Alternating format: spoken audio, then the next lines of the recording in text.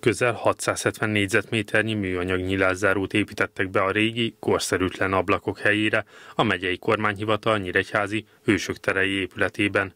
De az épület teljes szigetelését is megoldották, a fűtést is korszerűsítették, valamint az épület energiaellátásában napelemek is szerepet kapnak majd. Magyarországon az energiafelhasználás mintegy 40%-a épületekben történik.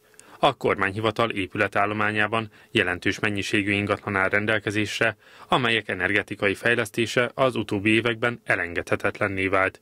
Nyíregyházán a Hősök terén és az Egyház utcán található épületekben hajtanak végre most az energiafelhasználás javítását célzó korszerűsítéseket.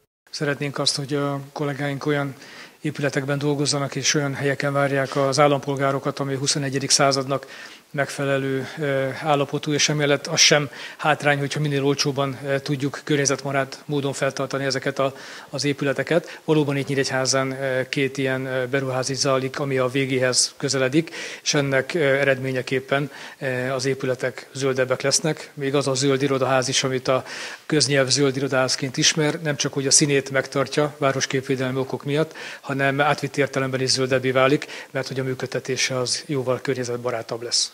A megyében a kormányhivatal ingatlanjai közül nem csak a két nyíregyházit korszerűsítik, ezek egy nagyobb fejlesztési program részét képezik.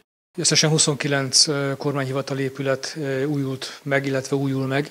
Nagyobb részét már sikerült lezárnunk és használatba vennünk. Ez egy nagyon nagy és komplex projekt, ami szerencsére az épületeknek egy jelentős részét érinti, és ezek között az épületek között nem csak állami tulajdonok vannak, hanem itt Nyíregyházán például a Zöld Irodaház az önkormányzati tulajdon, tehát ezekkel a beruházásokkal annak a településnek a vagyonát is gyarapítjuk, ahol a kormányhivatal épületeink működnek.